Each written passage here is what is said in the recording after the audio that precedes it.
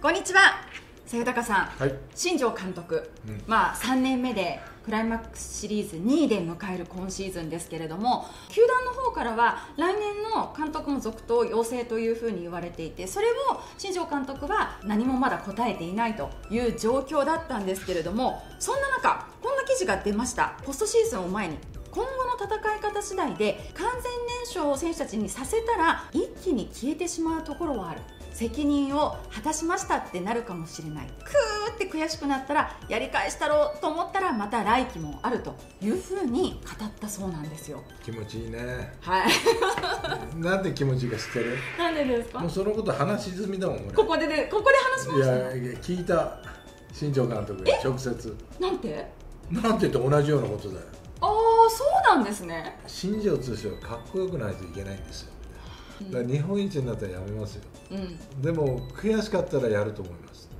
もうもうもう記者より先に聞いてたんですねもう当然ですよじゃあここであここで話しましたよねそうだそうだようんもうバラしちゃってたバラしちゃってたここでいやだけどやっぱそうなんだよね、うんうんまあこの言葉に嘘はないとはい今シーズンは本一になってやめたらかっこよくないですかってそりゃかっこいいよねって言ったらうんうんそれが新庄剛志なんですよぽいですね。ぽいでしょ。ぽいですぽいです。だから負け続けてあと5年ぐらいで日本一と。うん。長く見られますもんいや我々は長く見られる。うんうん。それがいいな。本来はね。彼の野球は楽しいよ。見ててね。見てたい、うん。ここで日本一取ったら綺麗すぎるわ。確かに。やめてよ。ストーリーができてますよね。出来上がりすぎだもん。それは優勝じゃなくて2位からでね伊藤大海を3戦目に持って3戦目じゃない。ソフトバンクに持ってってみたいな、取りに行ってるからね日本一を。本当に。そうですよね日本シリーズ行ってますもんね。真剣に取りに行ってるから、うん。どうなるかね。まあクライマックスは分かんないけども、はい、ファンとしても複雑ですね。優勝は見たいけど新庄監督がまだやってるのも来年見たい。でもそれは難しいってことですもんねそうなると。それが手かもみんな乗せられてんのかもわ手のひらで？それもありえますね。そうだな。でも本当にやりきってしまうともう自分がやるべきことはやった、まあそうだな。なりそうですよね。達成感を味わったら、うん。おそらく新庄監督っていうのはうん。ダメだと思う、そうか。その代わり人一倍負けず嫌いだし、人に何言われてもいいから、う日本一を取らなきゃいけないっていうふうにうん腹決めてる人だから、はい。途中で負けたとしたらうん。やめない。よ、途中で負けるというのは例えばそのソフトバンクにクライマックスシリーズのファイナル行ってソフトバンクに負けたらそれは悔しいからやるってことなんですか？日本シリーズ行ってセ・リーグと戦って負けたらそれが悔しいとなるからまた来年やるそうただ俺は日本シリーズ行ったら勝っちゃいそうな気がする。ああ。あそうか。ああれ？みたいな。こんな勝ち方じゃ嫌だよみたいな。もっと苦しまなきゃって言って もう1年やるっていうことは期待するけどもね。勝ったとしてもね、うん。両リーグ制覇というか日本一になったら完全燃焼なのかソフトバンクを破ってパ・リーグの代表になったらそこで完いや全燃焼。そこじゃない、日本一ですか、うん、それは日本一だ。そうか。理想は阪神を破って日本一だ。うん、そしたら完全燃焼でしょうね。これがどうなるかね、うん、まあ分かりはしないけども、はい。まあだけどなんかシナリオを書いてるからそのようになるような気がするんだよな。日本シリーズエースコンでやって日本あ一、うんうん、優勝させたかったのが正直な気持ちだと本来ならばリーグ優勝と、まあまあそうだね、はい、でバリにいた時は野球なんか一切興味なかったと。やるって決めたらとことんやる性格。お前大丈夫かって違う自分に言われるくらいにもうとことんやると。あとチームの成長のためにもやっぱり選手たちにも目を配っていて表情走り方に少しでも違和感があったら休ませる。競争と休養を意識させてメンバーを固定しないことでモチベーション選手のモチベーションを上げたと。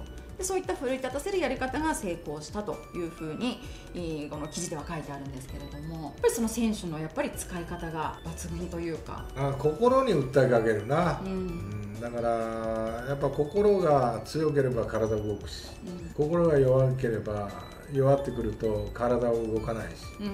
うん。そういう心をやっぱりよく読んでるよね。はい。今数値化してん。データもあるんだけども、新庄監督のコンピューターというか、うん。その表情の捉え方、うん。あーそういうことでいろいろ動かしてるよねチームをね。そうですよね、機械って冷たさを感じるけども、うん。人っていうのは温かみを感じるんでだからそこの温かみが伝わってるのかなっていうような気はするけどもね新庄監督はね。そうですよね、だからそのレイエス選手をいい時期に下げて本当にいい時期に上げてきてそうだね。言葉で奮い立たせたのも新庄まああれが勝負だったって言ってたけどね今年の一つの勝負だったって、うん。まあ、その上がってきて打ち出したら教えてくれとはい。若手に。うん。そしたら教え出したらやっぱり自分も教えた以上責任があると。はい。でより以上にやりだしたと。うん。いうようなことでやっぱうまいよな。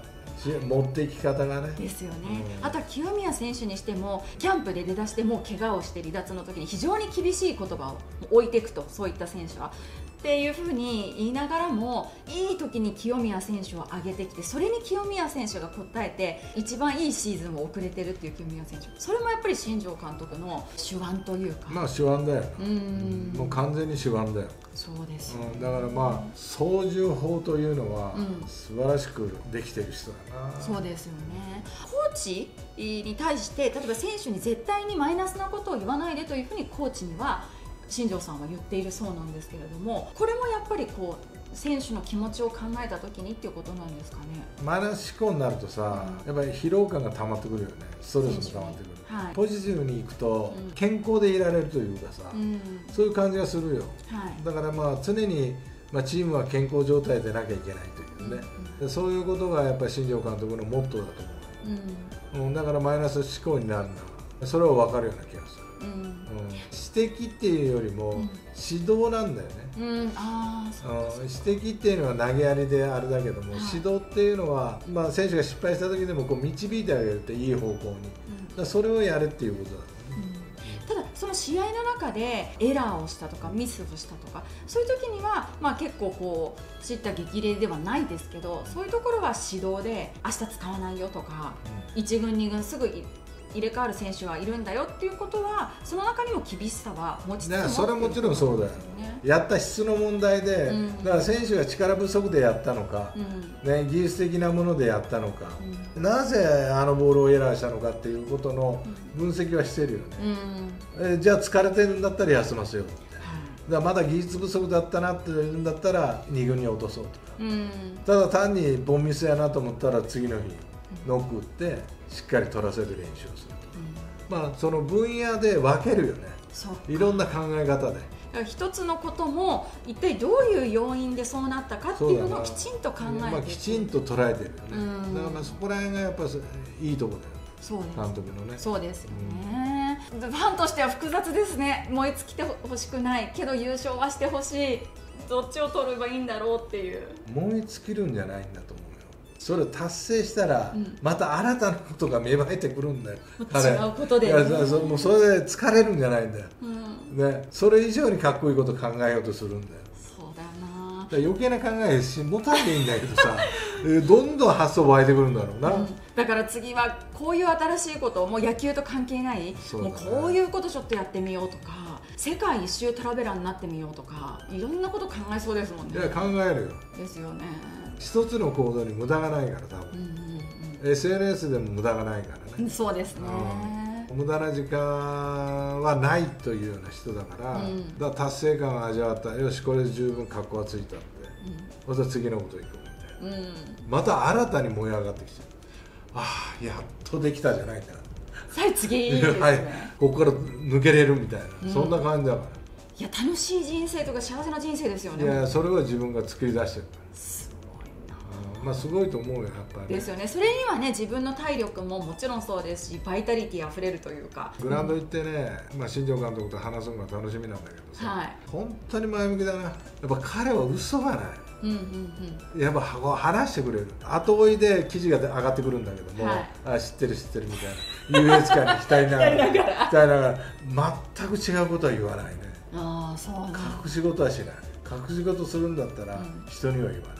う自分の中で。そうかそうか。紹介して。るうん。頭いいぞ。ね いや本当。そうですね、ファンとかを本当に驚かせたりあ喜ばせたりするのが新庄監督なのでクライマックスシリーズそして日本シリーズ一体どういう驚きとか感動とかをまあ、何かは考えてくれてるよな。絶対にそうだと思うんですよね。でもやめちゃいけない人だよそうですよね。球界から去っちゃいけない人だよねねそう思いますよね、はい。なので、まあ、去就の前にチームが優勝というところをまずは目指して。だからレイエスとマルティネスが、ね監督のことでこの監督引き止めましょうみたいな、うん。いえいえスピーチで言えばいい逆そうですよね逆に逆にみんな運動しましょうとそういう発想を選手たちも持たないそうですね、これこれやったらレイエスとマルチネスが多分これを見てたってことですよね、この動画を。